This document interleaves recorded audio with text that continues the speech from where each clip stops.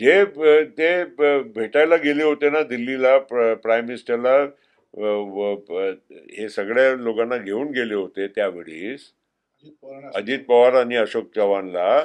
त्यावेळीच प- उद्धव ठाकरे आणि पीएम वेगळे बसले होते एक तासासाठी.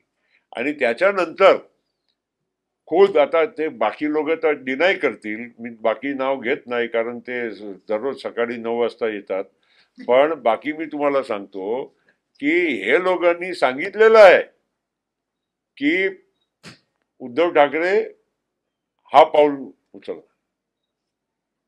टू गो बॅक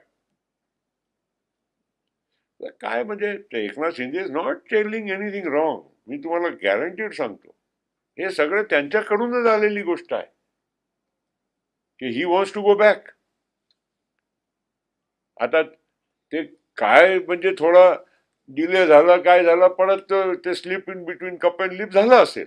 पण मूळ जे तत्व आपल्याला तत्वज्ञान दररोज जे काय आपल्याला सांगण्यात येतं की असं आहे तसं आहे ते सगळं म्हणजे I don't think it is काय आताही परत जाऊ शकते.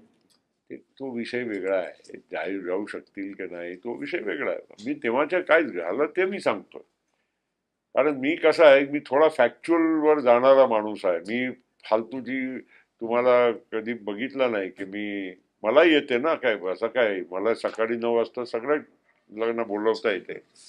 मला काही येत नाही असं नाही आहे ना. पण नाही इट्स नॉट आमच्या मला सूट होत नाही ते. चौदाच्या इलेक्शनमध्ये जेव्हा भ्रष्टाचाराचा मुख्य मुद्दा होता म्हणजे केंद्रातील लाट तो होतीच मोदींची आणि राज्यात जर सत्ता बदल झाला तर भ्रष्टाचाराचा मुख्य मुद्दा उठवला होता. भाजप असेल सेना असेल की अजितदादांवर अलिगेशन झाले. तटकरे. म्हणजे राष्ट्रवादीच्या नेत्यांवर जास्त झाले खरं.